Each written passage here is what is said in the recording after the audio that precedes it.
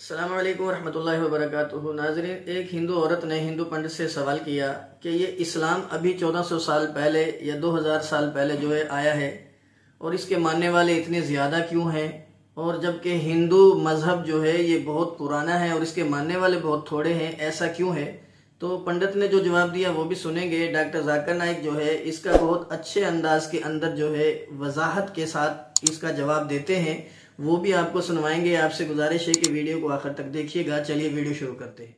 मेरा क्वेश्चन ये था कि इसमें कोई डाउट नहीं है कि हमारा सनातन सर्वोपरि है। और ये इस्लाम के बारे में मैंने आपसे दो बातें सुनी है। एक तो ये कि 2000 साल पहले इसकी स्थापना हुई है मोहम्मद ने की है। ठीक है। और दूसरा इसके बारे में ये भी सुना है कि शूर्पनखा की वंशज है। ना। ऐसे करके। सूर्पनखा का अलग इतिहास है। सूर्पनखा अच्छा। का इतिहास अलग है। मतलब ये बताया शुक्राचार्य के साथ वो, नहीं ये सब बातें कही जाती हैं पर इनका शास्त्रोक्त तो कोई प्रमाण नहीं, नहीं है। मेन यही है 2000 साल पहले वाला जो है। बिल्कुल। अच्छा। चौदह पंद्रह सौ वर्ष पहले अधिक से अधिक दो हज़ार साल। अच्छा। तो उसका कोई वो अस्तित्व नहीं है? किसका? शूर्पनखा वाले जो कथन। शूर्पनखा की कथा अलग है। तो उसे भी हम मान सकते हैं और इसे भी मान सकते हैं। शूर्पनखा का जो रावण की बहन है शूर्पनखा जी। जो राम जी से विवाह करने आई थी वह त्रेता की सूपनखा द्वापर में जाकर कुब्जा बनी। जी। और कुब्जा के घर भगवान गए चंदन लिया उसकी कुबड़ ठीक करी वो कथा आती है। तो कुब्जा तो भगवान की भक्त थी वो भगवान की विरोधी तो थी नहीं। इसलिए कुब्जा बन करके वो आई और वो भगवान को पति के रूप में प्राप्त करना चाहती थी। तो द्वापर युग में उन्होंने कृष्ण को पति के रूप में प्राप्त किया। तो ये ये लोगों का उससे क्या लेना देना? कोई लेना देना नहीं कोई लेना देना नहीं। है अच्छा।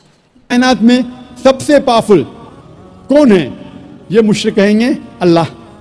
फिर आप अल्लाह के साथ दूसरों को शरीक क्यों करते? ये आयत में सूर्य यूनुस में सूरा नंबर 10 आयत नंबर 31 में मुश्रिक मानते थे तौहीद और रूबिया में।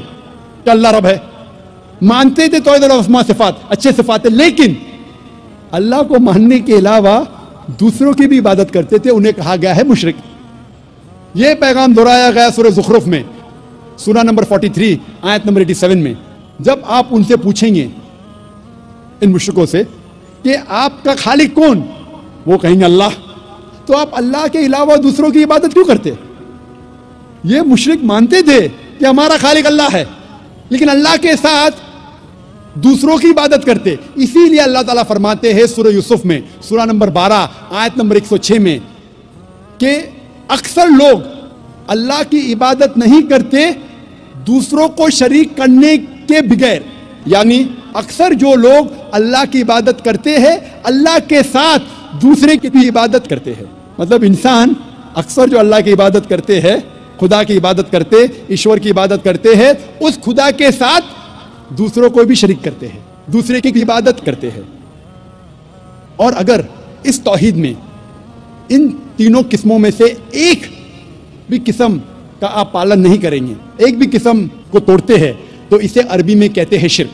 शिरक मतलब पार्टनर किसी को शरीक करना।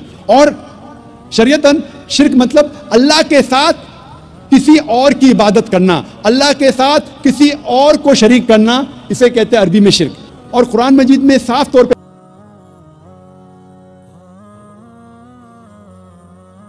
को शरीक करना। और शरीयतन, शिरक मतलब अल्लाह के साथ किसी और की इबादत करना, अल्लाह के साथ किसी और को शरीक करना, इसे कहते हैं अरबी में शिरक। और कुरान मजीद में साफ़ तौर पे लिखा है सूरह निसा में, सूरह नंबर चार, आयत नंबर 48 में, और सूरह निसा, सूरह नंबर चार, आयत नंबर 116 में कि अल्लाह सुबहाना व ताला अगर चाहे तो आपके कोई भी गुनाह को माफ़ कर सकता है, लेकिन शिरक को कभी भी नहीं माफ़ करेगा, क्योंकि जो इंसान शिर करता है, वो बहुत बड़ा गुनाह करता है और बहुत दूर तक भड़क चुका है। इसीलिए शिरक कुरान मजीद में और इस्लाम में सबसे बड़ा गुना है जो अल्लाह सुबहाना व ताला कभी भी नहीं माफ़ करेगा। अगर आपने शिरक किया और मरने के पहले तोबा नहीं की, अगर आप मुश्रिकाना हालत में मरे तो आपके लिए जहन्नम सौ फ़ीसद। शिर के अलावा दूसरा कोई भी गुनाह करे आप। अगर अल्लाह चाहे तो माफ़ कर सकता है। अगर आपने शिर किए तो आप ज़रूर तोबा कीजिए। शिर करना बंद कीजिए। इंशाल्लाह इंशाल्लाह आप जन्नत में जा सकते हैं। लेकिन अगर शिरक की हालत में मरे तो अल्लाह सुबहाना व ताला, खुदा, ईश्वर आपको कभी भी नहीं माफ़ फरमाएँगे। इसीलिए कुरान मजीद में लिखा है, जो मैंने इस तकरीर के शुरू में तलावत की, उस आयत की, जिसे मैं मास्टर की कहता हूँ, सारे तालों को खोलने वाली चाबी सूर्य इमरान सूर्य नंबर तीन, आयत नंबर चौंसठ में लिखा है तालो कलीमतिन सवा बैन बैनकुम आओ उस बात की तरफ़ जो आप और हम में यकसा है तालो इला कलीमतिन सवा बैन बैनकुम आओ उस बात की तरफ़ जो आप और हम में यकसा है सबसे पहली बात अल्लाह नाबदा इल्लल्लाह कि हम सिर्फ़ अल्लाह की इबादत करें मैंने ये नहीं कहा कि सिर्फ़ अल्लाह में मानो सिर्फ़ अल्लाह में मानना काफ़ी नहीं है अल्लाह नाबुदा इल्लल्लाह कि हम सिर्फ़ अल्लाह की इबादत करें अल्लाह को मानना काफ़ी नहीं, अल्लाह की इबादत सिर्फ़ करना चाहिए, वो ज़रूरी है। वला नुश्र का भी ही शैयों हम अल्लाह के साथ किसी और को शरीक ना करें। वला तखीज़ आबाद दुनबाद दन अरबाबन मिनल्ला कि हम आपस में अल्लाह के अलावा किसी और को मबूद ना बनाएँ। ये ज़रूरी है। वला नुशिका भी शैयों वला ये तखीदाबाद नबाद अरबाबन फ़िन तवल्लो।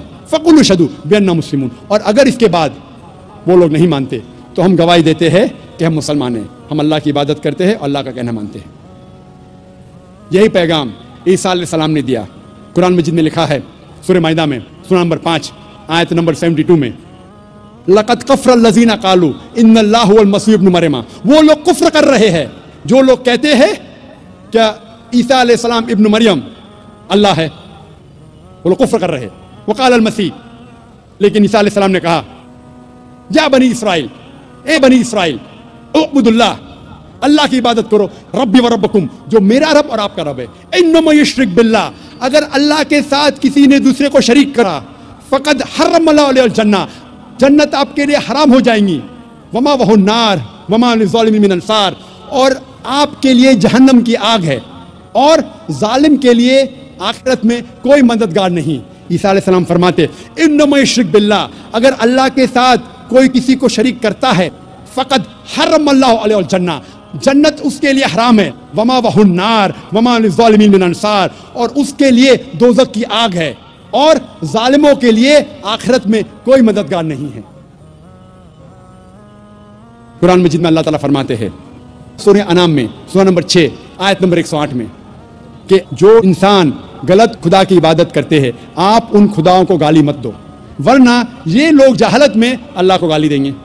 लिखा है कुरान मजीद में सूर्य लुकमान में सूर्य नंबर इकतीस, आयत नंबर सत्ताईस में। अगर आप इस दुनिया के सारे झाड़ को कलम में तब्दील करेंगे और सारे समुंदर, सात समुंदर मिला के अगर इसे में तब्दील करेंगे, फिर भी आप इनसे अल्लाह सुबहाना तला के शब्द नहीं लिख सकेंगे। इस तकरीर को मैं ख़त्म करना चाहता हूँ, अल्लाह सुबहाना तला की आयत से सुर हज से सुर नंबर बाईस, आयत नंबर सेवेंटी थ्री में अल्लाह ताला फरमाते हैं कि, ए लोगो इस बात को सुनो।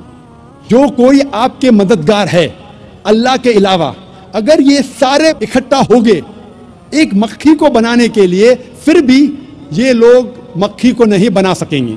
और अगर मक्खी कोई खाना इनसे छीनेंगे तो ये लोग उस खाने को भी वापस नहीं ला सकेंगे। कमज़ोर है वो लोग जो गलत खुदा की इबादत करते हैं और कमज़ोर लोग हैं, वो जिसकी इबादत करते हैं। वाखिर दावाना अलहमदिल्ला रब्बिल आलमीन। उम्मीद है आपको वीडियो पसंद आई होगी। अगर वीडियो पसंद आई हो तो हमारे चैनल को सब्सक्राइब कर लीजिएगा, वीडियो को लाइक और शेयर ज़रूर कर दीजिएगा और बेल आइकन को प्रेस कर लीजिएगा ताकि हर नए आने वाली वीडियो आपको बर वक्त मिल सके।